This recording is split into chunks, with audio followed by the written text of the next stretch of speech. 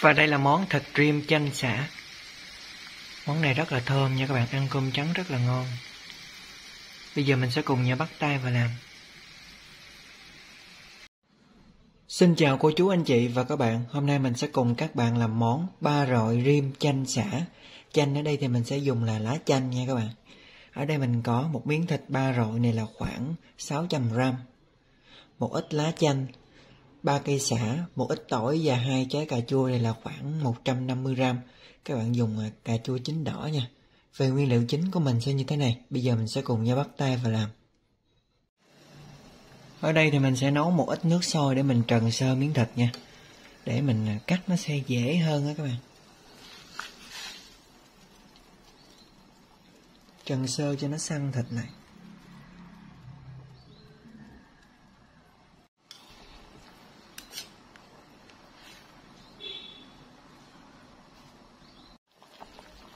Thịt nó săn lại rồi giờ mình sẽ vớt nó ra nha.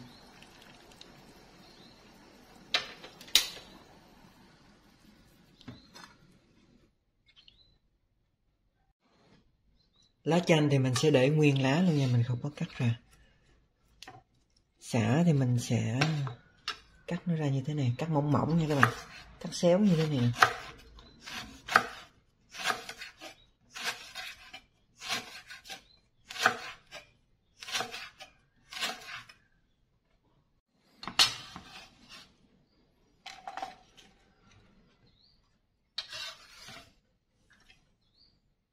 Tỏi thì mình sẽ bầm nhuyễn ra.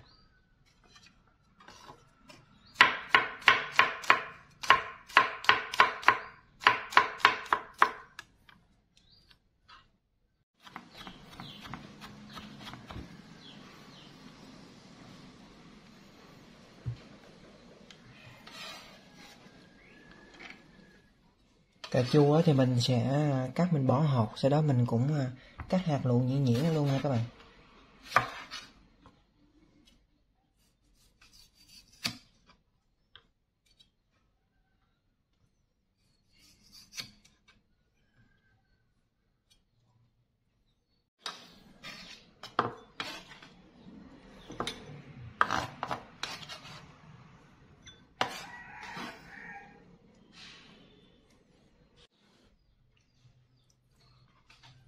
thôi, thì mình sẽ cắt độ dày nó khoảng nửa nửa cm thôi nha các bạn. Hoặc dày hơn chút thôi. Tại vì đôi khi các bạn cắt dày quá, các bạn à, rim nó cũng lâu lắm. Rồi mình cắt nhỏ nó là như thế này nè. Miếng vừa ăn thôi, giống như mình kho tiêu vậy đó.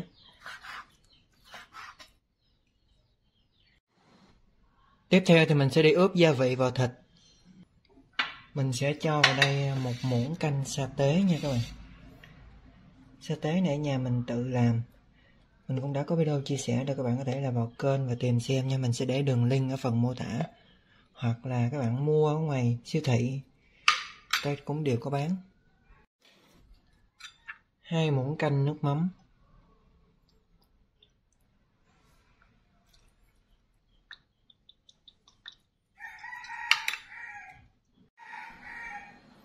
Nửa muỗng cà phê muối.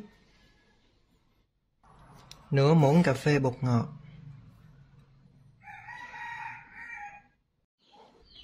Một muỗng canh đường. Mình sẽ trộn đều lên nha. Và ướp cho mình là khoảng ít nhất là 15 phút. Nếu như các bạn ướp lâu hơn nửa tiếng thì cho vào ngăn mát của tủ lạnh nha, cho thịt nó được tươi.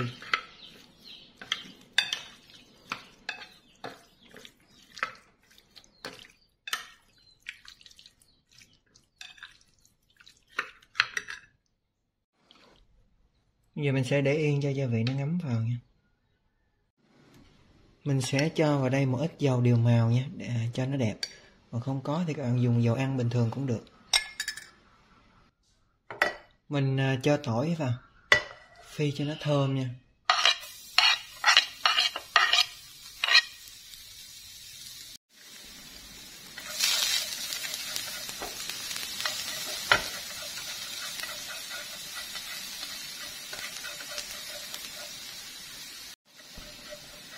tỏi thơm thì mình sẽ cho cà chua vào.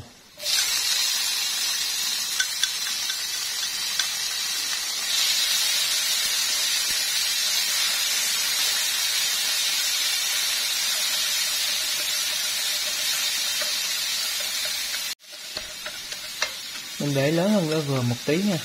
Mình xào cho cà nó hơi mềm chút rồi mình cho thịt vào.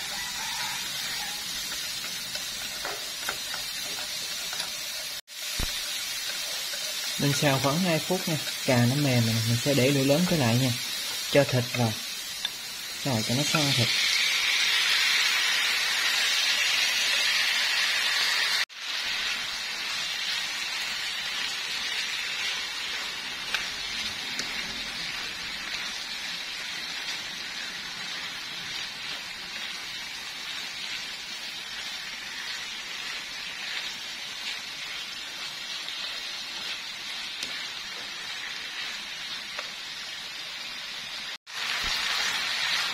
Các bạn đảo đều cho nó săn nó thơm lên nha. Rồi mình sẽ cho xả vào. Lá chanh thì mình cho sau cùng, tại cho sớm mới nó hết thơm.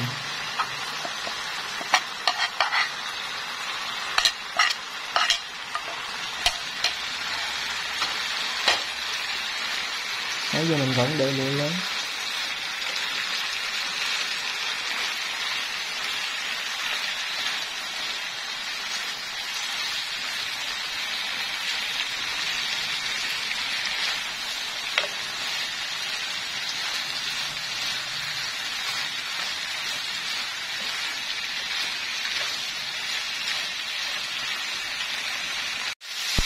Mình đảo đều thêm được khoảng 3 phút thôi nè các bạn.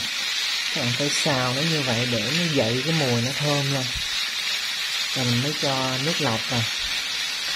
Mình cho vào đây một ít nước lọc này.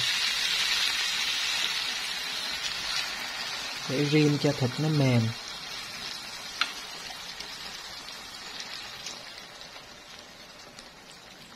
Khoảng 200ml nước nha. Vẫn để lửa lớn cho nó sôi đều khi nào nó sôi thì mình hạ xuống lửa vừa là mình rim từ từ.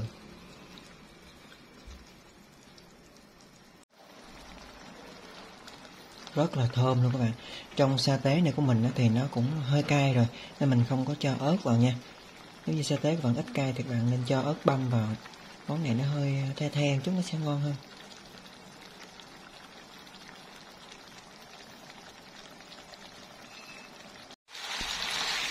Thịt của mình nó bắt đầu nó cạn rồi nè các bạn. Mình phải để cho nó hơi cạn chút nữa mình thì thích nó ráo hơn. Các bạn thích nước thì có như vậy là được rồi. Mình thấy nó hơi thiếu đường một chút nha, mình sẽ cho vào đây nửa muỗng cà phê đường. Về nêm nếm gia vị thì tùy theo các bạn nha, tùy theo gia vị. Khẩu vị của các bạn các bạn nêm lại cho vừa ăn. Nhưng cái món này nó mặn mặn ngọt ngọt là được. Tiếp theo thì mình sẽ cho lá chanh vào. Gần tắt bếp thì mình mới cho lá chanh vào nha các bạn.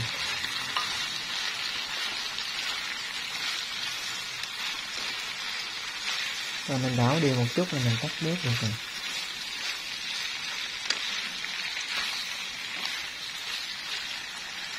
Rất là thơm các bạn.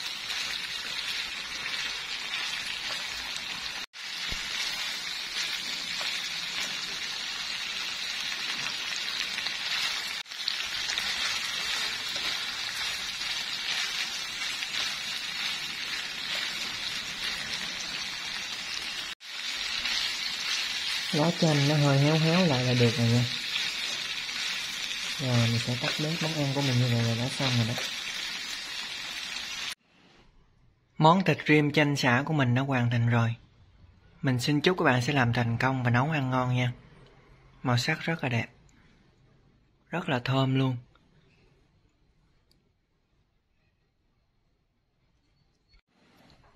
Nếu thích video các bạn nhớ like, chia sẻ nhấn nút đăng ký ủng hộ kênh. Xin chào tạm biệt và hẹn gặp lại. Chúc các bạn thành công.